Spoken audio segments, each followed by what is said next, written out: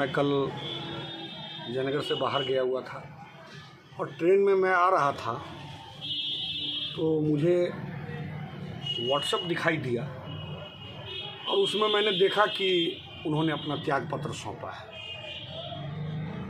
मैं इस विषय पे ये कहना चाहूँगा कि हमारे कार्यक्रम के ऊपर उन्होंने कुछ सवाल उठाए। मैं उसी संदर्भ में आप लोगों के सामने अपनी बातों को रखना चाह रहा हूँ। सबसे पहले तो उन्होंने लिखा है कि व्यापारियों का धन संग्रह करके एक दल विशेष की छवि चमकाई गई। तो मैं आप सभी पत्रकारों से ये पूछना चाहता हूँ कि मैंने किस दल की छवि चमकाई? हमारे उस कार्यक्रम में बिहार के सभी संगठनों के प्रतिनिधि संबंध रखते हैं। उसके प्रथम सत्र में आरक्षी अधीक्षक मधुबनी, वो भी आए थे, आप लोग देखे थे। क्या वो किसी दल से संबद्धता रखते हैं? द्वितीय सत्र में जो सवाल आया कि नेता प्रतिपक्ष और तारकिशोर जी आए। तो मैं आपको एक फ़ोटो दिखलाना चाह रहा हूँ कि नेता प्रतिपक्ष को आमंत्रण देने के लिए मैं नहीं गया था। रंजीत गुप्ता और अरुण पूर्वे जी गए थे। ये फ़ोटो को आप सामने में देख सकते हैं। संजोग बस मैं पटना उनके साथ गया था, लेकिन मैं वहाँ नहीं जा पाया। तीसरी बात अब ये है। मैं बहुत कुछ नहीं बोलना चाहूँगा।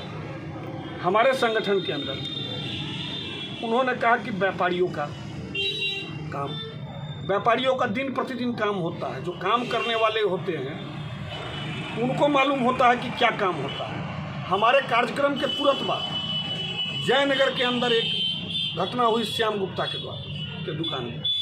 जो हमारे सदस्य भी नहीं थे, वो किसी और संस्था के सदस्य थे। लेकिन हम लोगों ने, मैंने पहले ही बोला है कि जयनगर के सभी व्यापारी, हमारे व्यापारी हैं। क्योंकि मैं एक व्यापारिक संगठन का अध्यक्ष हूँ तो मेरा प्रथम दायित्व तो एक ही है कि मुझे अपने व्यापारियों का मान, सम्मान, उनकी रक्षा, उनकी सुरक्षा के ऊपर अपनी प्रतिबद्धता जो है बनाए रखनी। है शायद कहना है कि मान, सम्मान।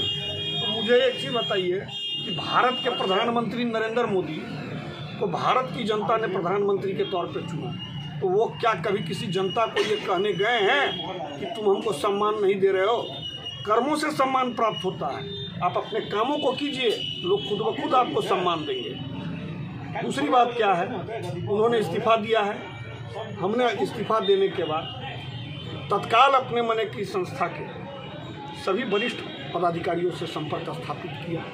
कुछ सदस्य आप देख भी रहे हैं कि उपस्थित हैं।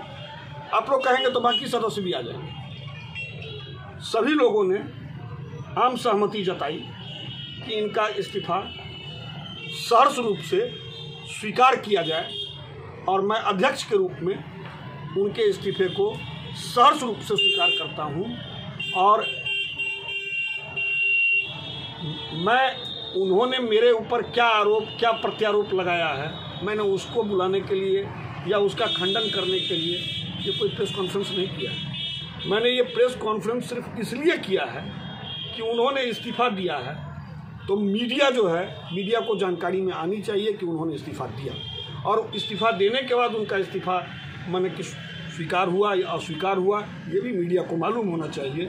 तो मैंने सिर्फ़ इसी के लिए मैंने बुलाया है और बाकी मुझे उनके किसी आरोप प्रत्यारोप पे, चूँकि हम लोग काम करने वाले लोग हैं, हम लोग काम करने पे विश्वास रखते हैं और वो काम हम लोग कर रहे हैं, लगातार कर रहे हैं। आप लोग देख रहे हैं कि किसी व्यापारी के साथ कोई भी समस्या होती है सवाल रुपया का?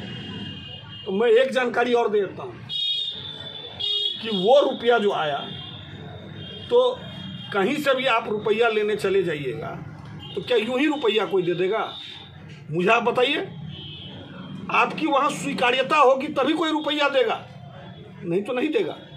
तो लोगों को मैं स्वीकार्य था, लोगों ने दिया और उसमें सबसे पहला मैं उन लोगों में से हूँ कि होम में पहली आहुति मैं खुद डालना पसंद करता हूँ। तो आज मैं खोल के आपको बता रहा हूँ कि इस कार्यक्रम के अंदर अगर सबसे बड़ा चंदा अगर किसी ने दिया है तो शख्स जो है, मैं खुद हूँ और मैंने इकतीस हज़ार रुपया खुद जो है इस कार्यक्रम में दिया है। चूँकि संस्था की बेहतरी के लिए हम सभी लोग प्रतिबद्ध हैं और हम बात करना पसंद नहीं करते हैं। हम काम करना पसंद करते हैं और जो लोग मैंने सिर्फ़ बातों से मैंने कि अपनी बातों को रखना चाहते हैं तो वो बहुत कम ही दिन चलता है।